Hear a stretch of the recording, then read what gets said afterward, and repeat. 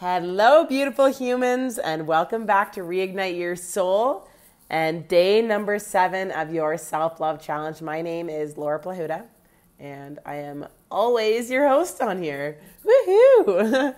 so, today I went to an amazing Breathworks class, and it is so amazing what the mind can do all on its own with extra oxygenation when you're actually know how to breathe properly. And it's so cool. The like peace of mind that you get is just so incredible. And this is a place, guys, that I aspired to be at for so long. I remember when I first started getting started on my personal development journey and my mindfulness and just working with my thoughts, it was a chaotic mess in there. And even if I wanted to shut it off, I legit couldn't. How many of you guys are on that wavelength right now with me? Yes. and no worries if you are there because, hey, if I can get from that squirrel brain place, and sometimes my brain still is a squirrel, but it's amazing what you can do when you actually put the work in. And to go along with that whole noisy mind, it makes total sense why our brains are so chaotic these days. Think about how much time throughout your day you actually have a time to actually breathe and do like nothing and think about nothing. It's it's doesn't happen often, right? Like you got shit to do. You got to go to work, you got to pick the kids up, you got to uh, drive home, you got to commute. There's so much stuff going on. You've got notifications coming out of your yin yang on your uh, your phone, your emails, your text messages. You've got this stuff to do. You've got that person to respond back to. It makes total sense why you're just so scattered, disorganized, like a chicken with your head cut off half the time. But like I always say, recognition is the key to that. And one thing that I did love when I first started getting into this was going to yoga classes.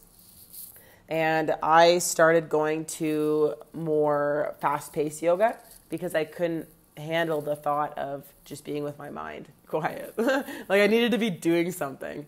And maybe you're there now too, where you just need to be doing something all the time because that's what you're conditioned to be doing. And that helped me. So I went to like the hot vinyasa flow classes so that you're constantly moving position to position. So you're still doing it, but you're still getting the amazing benefits of the yoga and the words that the teacher says. It's absolutely incredible. And then from there, I started shifting more to the slower ones. And as time went on, I found that I actually loved like the more restorative and um, the meditative yogas because it was a chance for me to actually take time away from my busy life instead of going to the gym where it's just another thing that's going to stimulate your nervous system. It was a chance for me to go and actually take that hour to wind down my nervous system. And when it comes to your sympathetic nervous system, that's like your fight or flight. And then you've also got your parasympathetic nervous system, which is the opposite of it. So that's like your rest and digest. And the majority of people these days especially in North America, because we're so go, go, go all the time. That's just the society we live in. Our sympathetic nervous systems are so overstimulated. Our adrenals are so overstimulated. Our cortisol is through the roof. Our epinephrine is being fired at like friggin' all times. And we wonder why we can't sleep because we never have that chance for our bodies to actually chill out and go into that rest and digest, which also makes sense why we have so many digestive issues. So it's crazy how you can change some things and it helps with that quieting your mind and helping with your whole um, that your overall health like your actual physical health is benefited from it. It's absolutely incredible. And and recognizing it and decluttering is probably the best thing that you can do. Like take a look at your schedule and see what is an actual thing that you need to be doing or that you're just doing for some reason that you don't even enjoy it. So, something that you could do is go through your day and take a look at all of the different things that you're doing throughout the day and say, is this bringing me enjoyment or is this not bringing me enjoyment? Is this exciting me or not? And you might be amazed at some of the things that you are doing on a daily basis that aren't quite exciting you right now. And if you could start filtering some of those things out of your life and then taking that time to filter in some more quiet time, some more downtime for you, you'll be amazed at the shift you, the shifts that you start having. So that's something that I would suggest. Just like when in the springtime you do your spring cleaning, you clean out your closet, you get rid of all the clothes you haven't worn in like so long and then you donate it all or you sell it, right? Like that's what you need to do with your brain and all of the tasks that you're doing on a day-to-day basis. So I would definitely suggest doing that because the more space you can create in your mind, the better it's going to be. So not only do you want to mix up the different thoughts that you're having, but you also want to start creating space. Start creating some space in your mind so you can fill it with some more things that are going to move you forward with your mindfulness practices. And that could be cleaning up your morning routine so that you can fit in your three things you love about yourself, three things you're grateful for, one thing you're looking forward to. Fitting in your affirmations, right? So instead of getting up in the morning and scrolling on Instagram for half an hour, you take that time. You, what I started doing was I just leave my phone in airplane mode. I leave it on airplane mode until about um, 11 o'clock, and then I take it off airplane mode. That way, I am not going to be wasting my time doing anything on Instagram, Facebook, social media, um, answering text messages, anything like that until I do the things that I want to do for myself. Because unless I'm if I'm not able to fill up my own cup, I'm not going to be able to help anybody else. And we live in a society as well that happens to think that doing things for ourselves is selfish. And I absolutely hate that word. Hate it. Because it's so good to be selfish. You want to make sure that you're doing stuff for yourself.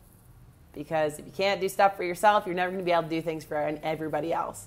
And it's only when you're able to fill up your own cup that you're able to actually, truthfully, help everybody else in your life your family, your friends, the loved ones, your coworkers. If you're a care worker at work, that you care for other people. You need to make sure that you're doing those things for you. Because if you keep putting yourself second and everybody else first, it's going to go nowhere quick for you. And you're going to come to a point where you got to change, make some changes. And just know that you're so worthy of making those changes for yourself and that you're totally capable of it. You just have to put the work in and put the time. And trust me, when you actually take 10 to 15 minutes a day to actually think about what you're doing throughout your day, you're going to maximize your time. So take taking that extra 10 15 minutes up front is actually going to save you so much time throughout your day because if you don't do that, then you're losing so much time in the pockets of your day doing random shit that doesn't really matter, right? So it seems a little backwards. Take the time every single Sunday night. That's what I do. I plan out my week. So if you're not taking some time on Sunday night or whatever day of the week you want to do, do your meal prep, do your stuff for yourself, map out like what the heck like if I want to be successful in my life, what do I have to do this week so that I am like successful? and map out your top priorities and make sure you're getting those in your schedule. All those other little fluffy things that don't really matter, ditch it. You can always do it next week or next weekend, right? Do the things that are most important to you and your goals and where you want to go in life. So if this podcast is something that you want um, to be doing, then schedule it into your day. Do it on your commute to work or do it on your lunchtime. Just schedule it in, and then that way you're never ever going to miss it and you're going to feel so good from doing it and putting yourself first. And it's just going to go up and up and up from there. So, I had something that I really wanted to share with you guys. And so, Angie has been super bold. She has been doing the do, and she reached out to me and um, has given me permission to share what she's been going through, some situations so that we can kind of work through this together because I know that I can definitely relate to this. So I'm sure that a lot of you guys can relate to this as well. So Angie wrote to me and she said after yesterday's episode, she found out that she's actually afraid to succeed. And when I do things, I go full throttle, but unfortunately, what usually happens is something scares me and then I pull back and find a reason not to continue. And then she actually goes on to explain how she grew up with parents that always encouraged perfection. And she was told that she was capable of absolutely anything. But if she failed, then that's when she would hear the, all the negative things.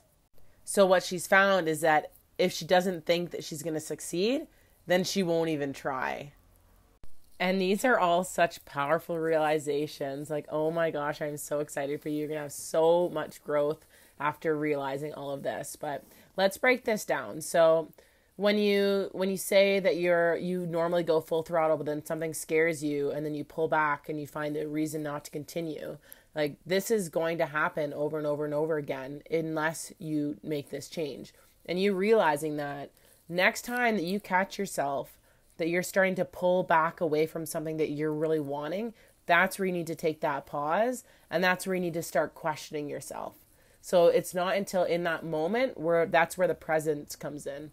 Being conscious, being present, being aware so you can catch this moment when it happens so that you can start correcting that behavior.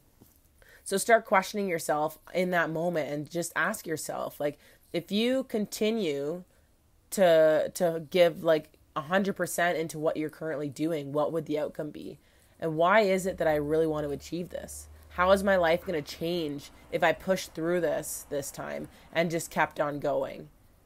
Because w- we make changes when the pain of staying the same is greater than that fear of change. So we realize that if we stay the same, then we're going to be in so much more pain than if we even just push through that fear and just explored it to see what was on the other side. That's when we decide that we want to make change. So it's not until in that specific moment that you're actually going to be able to do that. But you're being so aware, you are totally going to catch yourself in that. And that, when that happens, you let me know. But um, yeah, you're definitely going to want to question yourself at that point. But that's where the presence comes in. So that's awesome. So the next one, I grew up with parents that always encouraged perfection. I was told that if I, I was capable of anything, but if I failed, then I would hear the negative. And as humans, like we want that validation. We want to feel like we're doing a good job. It's that inner child that just wants that satisfaction, right? And a little story to go along with that is when I was younger, um, me and my mom have an amazing relationship now, but throughout school I was the exact same as you that I was just a go-getter and I was always getting good grades and I would get like say like a 98% on a test. And my mom would be like oh like you got a 98 like why did well like if you got a 98 you totally could have got a 100 and for me it was as if nothing was good enough. And I always just felt like nothing was good enough. It didn't matter what I did it just wasn't good enough and i started having the same thoughts as you and it was it's funny talking to my mom afterwards and like explaining that to her and her whole thing was that she just wanted to push me to do better because she knew i was capable. She that was her way of empowering me. And it's crazy how perception has a big thing to do with it. So you could always have a conversation with your parents to understand that other side because remember that we're all just products of our environment. So even your parents, they're just products of their environment. So their parents pass this down to them, and then their path they passed it down to you, and now you, in this moment, because you're choosing to you're in this time right now where there's so much change happening that you have so many opportunities that your parents didn't have and their parents didn't have. So you have the power, you hold the power right now to break that cycle and to understand that your parents are just products of their environment. They're just running based off of the program that they were programmed with. And that now you have that chance to break that cycle and really change that. Like, how freaking cool is that? And to go along with the whole perfectionism thing in there as well, it's kind of tied into this as well. Like, if I don't think I will succeed, I won't even try, right? And the whole thing with that is it's a limiting belief that's just always a self fulfilling prophecy. Because if you always think that you're not going to succeed, you don't even try, you're guaranteeing your success, your success that you're actually failing every single time, right? Because whether you think you are or you think you aren't, you're right every single time. So if you think you're going to succeed, you're going to succeed. If you think you're going to fail, you're going to fail. So we really got to work on shifting that that failure mentality because it's so common and we just got to ditch the word altogether. Like failure, there's no such thing. There's lessons in life, but there's no such thing as failure. Because for example, if you want to run a 5 kilometer race, like you train super hard, you want to run this 5 kilometer race, you end up only running 4 kilometers, you're like, "Oh shit, like I can't do any more." Like you're exhausted. You ran 4 kilometers you just freaking ran four kilometers. That's four kilometers more than you did before. Like, how incredible is that? And then you take those lessons that you learned. Like, okay, like shit, like I didn't reach that goal that I wanted. But you know what? I did just run four kilometers. And what can I do next time so that I can push myself even more? That's the mentality that we need to start adopting. There's no such thing as failure. It's all just lessons. It's all just moving forward. And I'm going to go right back to the whole puppy thing. Like, we need to start celebrating ourselves for even the tiniest little things. Because if we can't be grateful and excited for the tiniest little things that we do in our days, we're never, ever, ever going to be excited and grateful for the big things that happen in our lives. So start looking at all the little things that you're doing throughout your day that just seem like normal things. You've already created that routine. It's a normal thing for you to do that. Like, you have breakfast in the morning. Like, you just had breakfast. That's freaking awesome. Like you're fueling your body. Okay? What else do you do on a daily basis? Like you get yourself out of bed. Like that's awesome. You get yourself to work. That's freaking awesome. Like look at all the things that you're doing right. So start celebrating yourself for all those little things. And then the next thing that Angie said was when I was younger, I had such a carefree attitude. I was silly. I used to look at myself in the mirror and make faces and laugh my head off. Something has happened from then until now. I truly loved who I was and I didn't have a care in the world. And honestly, I am so proud of you for being open and vulnerable with sharing this because this is something that so many people struggle with. You have this identity of yourself of what you used to be like, and you think that somehow there's no way that you can get back there. But we know now that there is. It's totally possible. And that girl, that carefree, fun person, she's still in there. She's just waiting to come back out and play. And I would encourage you, like, what are some of the things that that young, carefree Angie would have done back then? What are some of those things that she loved doing? What were the, some of those things that excited her? And go back and try and do them again. Because you know, what? you're never too old to go back and try those things. Um, when we, like, as a society, we feel like adulting. Like, we can't do the things like when we were children but you know, children have it figured out, and we need to start learning from the children, and we need to continue doing what the children do. Just because we have a job and we have responsibilities doesn't mean we can't have fun and we can't enjoy life. Like, what the heck's the point of being here if we can't enjoy life, right? So, go back to those things, and I'll also share some amazing affirmations that you can add into your new beliefs because um, can do some clearings with that and then really start reinforcing those new beliefs with those um, like being fun, being silly, being carefree. Like you can include all of those into your ideal vision for yourself. And so another, so that was all kind of under like the fear of success and the fear of failure. All of those amazing things that Angie just shared. And she also shared some amazing things kind of along the lines of the fear of judgment. So she had a situation where she went out for dinner with um, a girlfriend and she found that she was um, downplaying things in her life w- because she didn't want people to think that she was like boasting about it or being cocky about it or or sharing too much or she didn't want to stand out. There's a bit of a fear of standing out because there is like you get judged if you eat unhealthy by some people and if you eat healthy you also get judged by other people right and judgment is a big thing and anything with judgment I want to question you on are you judging yourself about these things? Because a lot of the time we think that other people are judging us based on our judgments on ourselves and the judgments that we have on others. And maybe it was from back before you started doing kind of having these changes where you would maybe you were in a bad place and you would maybe judge people for eating healthy if you were out. So if you have that judgment still in your head ingrained, as you start to change your identity, you're going to start thinking that other people still have that, but really it's just because you're judging yourself. So we you really need to clear on that that belief that you're being judged by eating healthy because that's not a belief that's serving you anymore. So, a few of the um, quotes that she actually said specifically was I can't be too perfect. What will people think of me? I downplay myself around certain friends.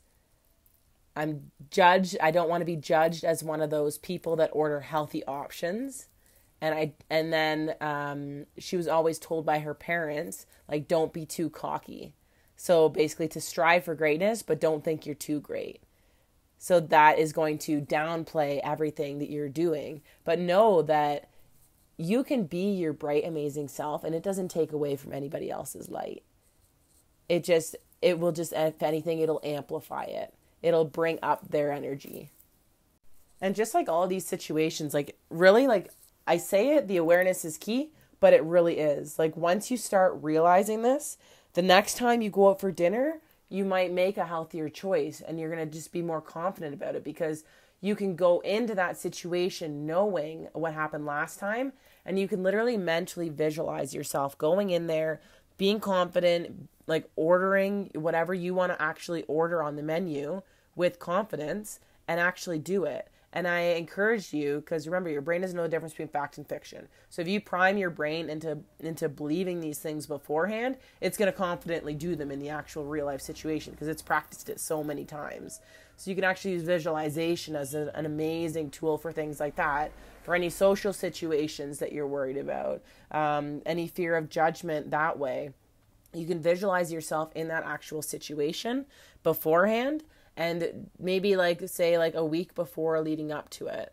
Like it seems like practice for something so dumb like going out for lunch with a girlfriend right? But it doesn't matter if it seems dumb because it works so every single day before you go like visualize it and go through your head how you want it to work. And then when you go into the actual situation you'll be so surprised at how it actually turns out.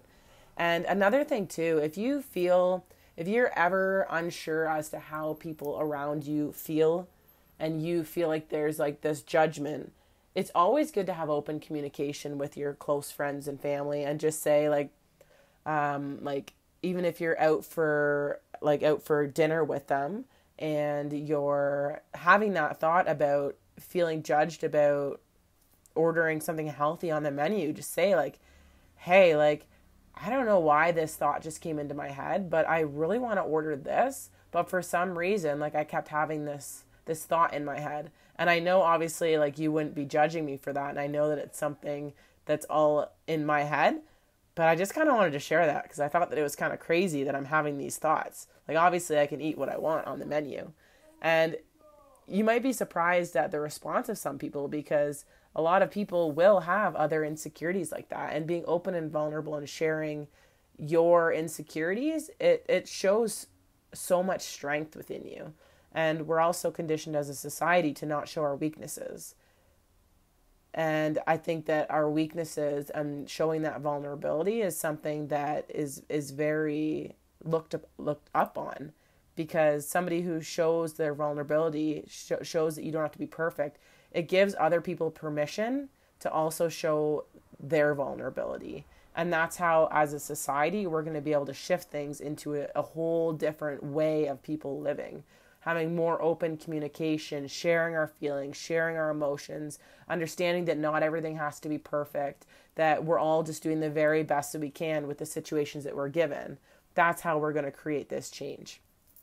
So I'm so proud of you once again for being open, being vulnerable, sharing all of this so that we can all grow from your experiences and also for you taking the time to put in your the work for yourself because the time you invest into yourself is going to 100% be something that you are going to reap the benefits from for the rest of your life.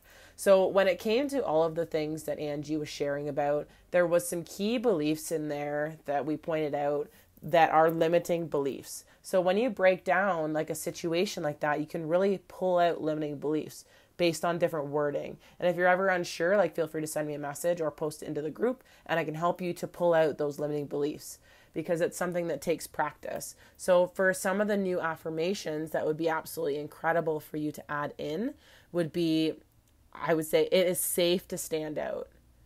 Let your brain know that it's totally safe to stand out. And you could also do one I'm excited to continue going all in with life because everything I do, I'm excited to learn from. So that really helps with the the um, the perfectionism and the failure. Another one you could do is I am confident just being me. Right? You can just be yourself, and that's okay. Maybe you want to have one that says, I am silly, fun, and carefree. Because you are, and it's in you. Maybe you want one that says, I'm so excited because I feel so free and I don't have a care in the world. Maybe that's one that you really want to live into. You want one that says, Everything is always working out for me. I love being me. Those are some super powerful ones you can add into your um, your routine.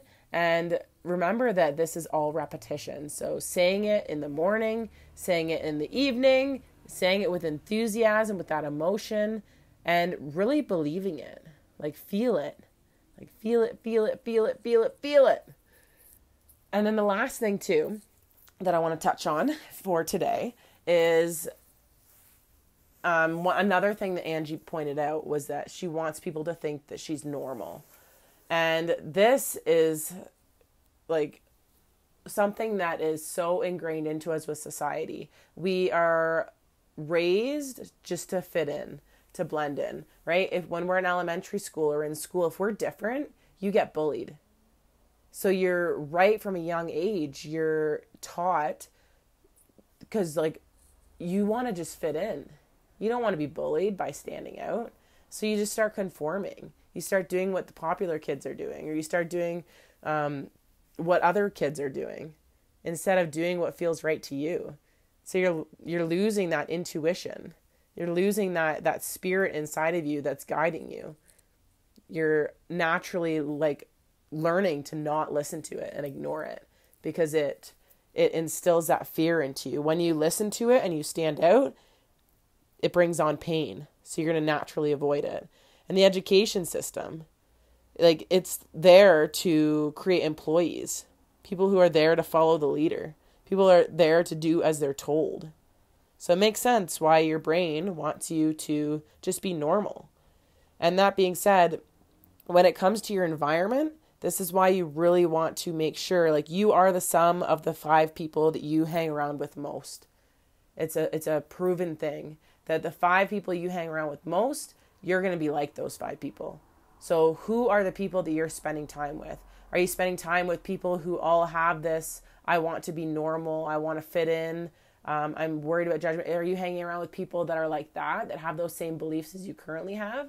Or are you going to start hanging around with or having more podcasts, having more uh, positive influence, reading more books with people that have beliefs that are a, pushing you in the direction that you want to go?